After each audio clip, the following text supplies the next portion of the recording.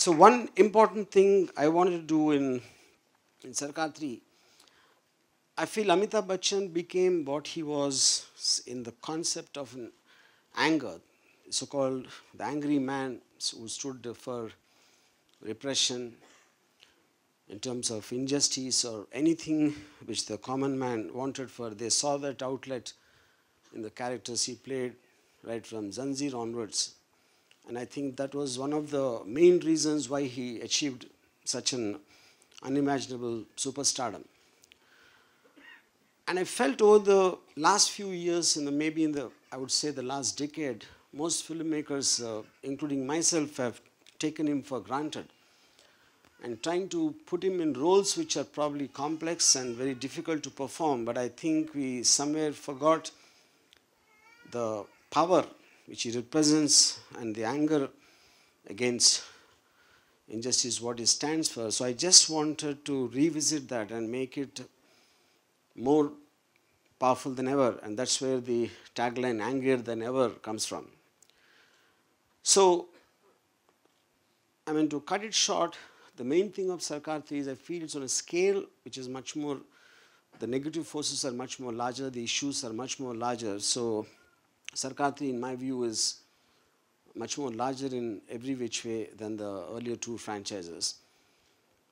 And also, I think this is the first time in Indian cinema that uh, a third part came with the same character, saying the role.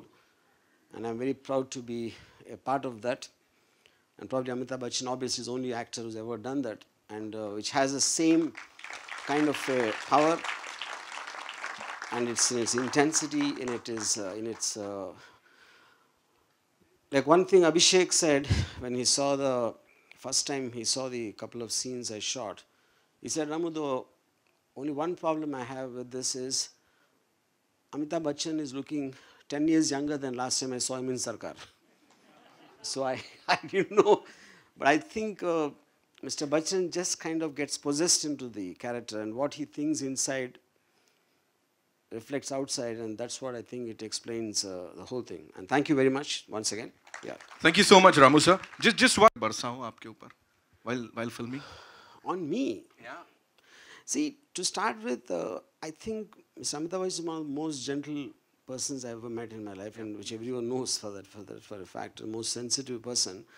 So I think his anger either he hides it, and in real life he performs as a gentle soul or uh, other way around. So no one, none of us will ever know the truth. Who is the real Amitabh Bachchan? Right. So uh, to know the real Mr. Amitabh Bachchan, ladies and gentlemen, cast से शुरुआत Sorry.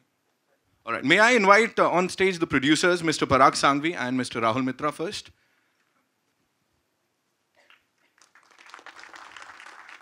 Before the grand entry of the cast of this amazing movie.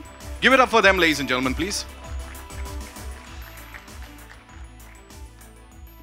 Welcome mister Rahul mister Parag आपकी association के बारे में please थोड़ा सा हमें बताइए with Sarkar three